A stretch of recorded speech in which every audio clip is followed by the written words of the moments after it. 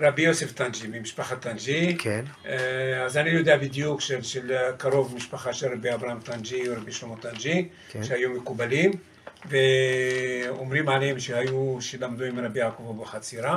כן, הוא נכון. היה, אני חושב שהוא היה, בש, בש, רבי יוסף טנג'י היה ב, בשנות ה-40 או ה-30 בקזבלנקה, והתמונה הזאת היא כאשר הוא, אחרי הפטירה שלו, אחרי שהוא קם, אה, זאת אומרת שהוא נפטר, רצו לעשות לו אה, רחיצה, הוא קם, זה מה שאימא שלי מספרת, זיכרונה לברכה, הוא קם, רחצו אותו, ואחר כך הוא חזר ל... אז זה התמונה. זו התמונה שלקחו אותו אחרי...